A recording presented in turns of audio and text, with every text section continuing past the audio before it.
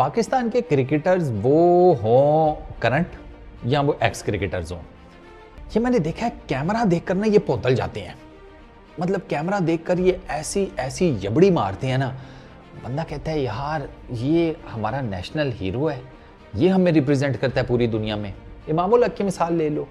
इमामुल हक साहब फरमाते हैं, ये तो उन्होंने कहा ना, ये तो उन्होंने बड़ी शानदार बात की थी कि पाकिस्तान की क्रिकेट टीम से सारी दुनिया डरती है। उसके बाद उसी किताब। पाकिस्तान नामा का या क्रिकेट की तारीख का बेताज बादशाह पाकिस्तान, उसी के अगले सफ़े के ऊपर अभी ताज़ा तरीन उन्होंने बयान फरमाया कि हमारी फील्डिंग आउट क्लास है। पाकिस्तान दुनिया की बेहतरीन फील्डिंग साइट है और न्यूजीलैंड और वेस्ट इंडीज़ दोनों से ज़्यादा अच्छी फील्डिंग करते हैं। अरे हाय हाय हाय हाय। गर्मी पता नहीं ज़्यादा पड़ रही है। अब ताबिश से पूछना पड़ेगा कि तुम अपने स्टूडियो में एसी वगैरह नहीं लगाते। क्या दिक्कत है भाई? अच्छे खासे पैसे कमा रहे हो एसी वेसी तो लगा लिया करो। अब इमाम को गर्मी लगी, इमाम ने गर्मी में गर्म जेन के साथ पता नहीं ये क्या बोल दिया। वेस्ट इंडीज़ बोलते तो फिर भी चलो होता, है? दो कि मैं वेस्ट इंडीज़ वाले फेवर में भी नहीं हूँ। भैया, तुम कहते कि नारोवाल इलेवन इनसे ज़्यादा अच्छे हम फील्डर्स हैं। तुम कहते कि भाई साहब, पतोकी प्रिंस इलेवन उनसे ज़्यादा हम अच्छे फील्डर हैं। तुम कहते शोर कोट पैंथर्स। उनसे हम ज़्यादा अच्छी क्रिकेटिंग फील्डिंग है, फील्डिंग साइड है। मैं फिर भी मान लेता। वेस्ट इंडीज़, और अल्लाह माफ़ी दे, वेस्ट इंडीज़ से आगे न्यूजीलैंड। यार, वेस्ट इंडीज सुनकर हमने सीनों पर पत्थर रख लिया। भाई, न्यूजीलैंड बोलकर तो तूने हमारे सीनों के ऊपर इमाम केटू रख दिया है। इतना तो हमारे दिल का साइज़ नहीं है, जितनी बड़ी चट्टान तूने ये स्टेटमेंट देकर बोल दी है। ये वर्ल्ड टी ट्वेंटी में अपनी फील्डिंग देखी है? छोड़ दो सारी चीज़ें। वर्ल्ड टी ट्वेंटी में अपनी फील्डिंग और पंट के तीन कैच आपने एक मैच में ड्रॉप किए हैं, तीन कैच क्रिकेट में ना रिटर्न तो नहीं, लेकिन एक रूल है कि हाथ से लगा तो कैच है। ले नहीं लेना है। जो मर्ज़ी हो जाए। ये वाइटेलिटी ब्लास्ट हो रहा है। यूके के अंदर इंग्लैंड के अंदर। सारों को मैं एक चीज़ बताता हूँ। कुछ ने तो देखा होगा डेफिनेटली मेरी तरह के हैं।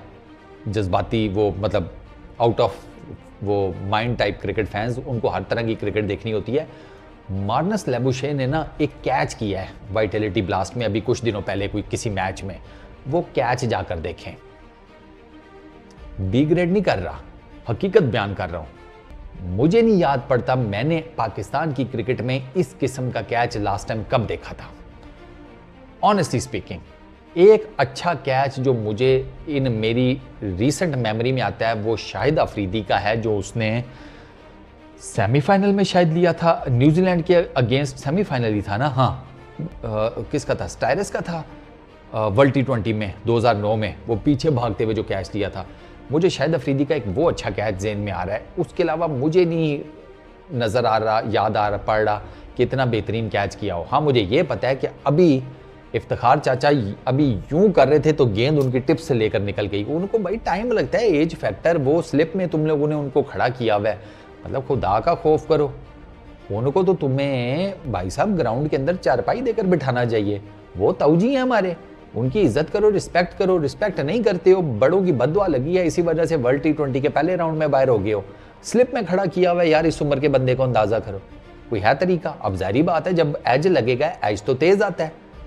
एज इतना तेज आता है कि ऋषभ पंत ने अभी रिसेंटली बुमराह की बॉल के ऊपर क्या ड्रॉप कर दिया? ये किसके, बांग्लादेश के अगेंस्ट जो मैच था उसमें, वो, उसको, वो एज लगी, इतना तेज़ी से फ्लाई किया कि वो ऋषभ पंत के, हालाँकि वो अच्छा खासा विकेट कीपर है, तगड़ा विकेट कीपर है ऋषभ पंत, लेकिन ऋषभ के हाथ नहीं पहुँच सके ग्लव से लगी ठक करके बाय इधर, आपने इफ्तार चाचा को स्लिप में खड़ा किया था बाय दैट टाइम उनका हाथ पहुँचता, गेंद जनाब उनके हाथ से निकल कर वो जा अच्छा उसके बाद वो उससे पिछले मैच में वो चाचा देख रहे हैं कि अच्छा क्या स्लिप ए जा रहा है, आ रहा है, आ रहा है ए जा रहा है ए जा रहा है ए जा रहा है। एज निकल गया। थोड़ा सा इधर होती ना मेरे पास, मैं कुछ ना कुछ कर लेता, मैं यूँ करके उखाड़ लेता उस कैच को ना, है? पकड़ लेता प्लग कर लेता, कुछ कर लेता मैं। बस, लेकिन वो थोड़ा सा ना मेरी रीच से दूर थी। हमारी फील्डिंग का कोई स्टैंडर्ड नहीं है, क्योंकि फील्डिंग डायरेक्टली लिंक होती है आपकी फिटनेस के साथ। इसी चीज़ के जवाब में शायद इमरान नज़ीर ने यह कहा था कि हमारी फिटनेस का प्रॉब्लम है, भाई बहुत बड़ा। हम लोग फिटनेस के ऊपर वो नहीं करते काम। वो एग्ज़ाम्पल उसने दी अफ़गानिस्तान की क्रिकेट टीम की, और बिल्कुल 110 परसेंट सुचल एग्ज़ाम्पल दिया है। आप ही की तरह का खाते पीते हैं, आप ही की तरह के उठते बैठते हैं। मतलब उनका माहौल माशरा आपका सेम है। उनकी फिटनेस चेक करो, नवीन को देखो, गुलबदीन नैब को देखो, सारी चीज़ें छोड़ो। गुलबदीन नैब यूँ करता है ना तो जितने उसके ये डोले बनते हैं ना, मेरा ख्याल है मेरी रान के ऊपर इतना गोश्त होगा जितने गुलबदीन के यहाँ पर डोले बनते हैं। और उस गुल मतलब गुलबदीन को आप देखो, आपको पता चलता है कि यार ये स्ट्रॉन्ग बिल्ट बंदा है। ऐसे ही है ना मतलब जिसम शिसम सब सेट लीन नहीं है मतलब पतला नहीं है he has a good body sir, वो डाइवे मार मार ऐसे कैच ले रहा होता है, आप हैरान परेशान रह जाते हैं कि इतने जुस्से के साथ इसने ये डाइव कैसे मार ली। वो नूर का कैच देखें, जो उसने मैक्सवेल का लिया, गुलबदीन का कैच चेक करें, बल्कि उसने तो दो लिए हैं उस मैच में, ऑस्ट्रेलिया वाले में। आप वो कैचेस चेक करें, इनकी स्प्रिंट चेक करें। आप इनकी स्प्रिंट चेक करें, आप गुरबाज का कैच चेक करें। आप देखते हैं भाई, वो फिटनेस में किस लेवल के ऊपर है। आप अपनी फैसिलिटीज़ देखें, शर्म आनी चाहिए यार, शर्म आनी चाहिए। उनके पास आपके लेवल की फैसिलिटीज़ नहीं है। लेकिन उनकी फिटनेस वो फिटनेस फ्रीक्स हैं भाई फिटनेस फ्रीक्स जिसको कहते हैं। एक एक उनका एक यार नबी भाई को चेक करो यार चालीस टपने वाले हैं वो वो चालीस को टच करने वाले हैं।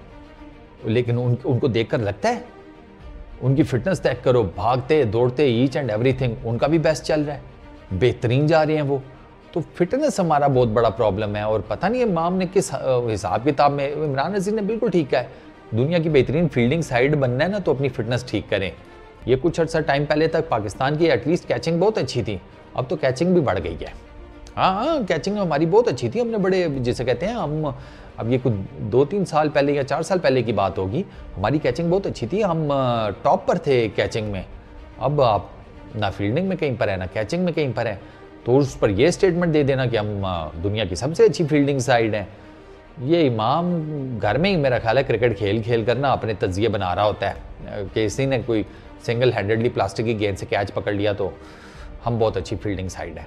ऐसे नहीं होता भाई, मेहरबानी कर यार। आज हाथ होला रखा करो यार, लोग देख रहे होते हैं। आकर यहाँ पे जस्टिफिकेशन देनी पड़ जाती है हम लोगों को कि नहीं, गर्मी बहुत ज़्यादा थी, सठे आ गई हैं। ऐसी बात नहीं है। चलो, इस वीडियो में इतना ही। अपना बहुत ख्याल रखना। नेक्स्ट वीडियो में मुलाकात होगी। Peace out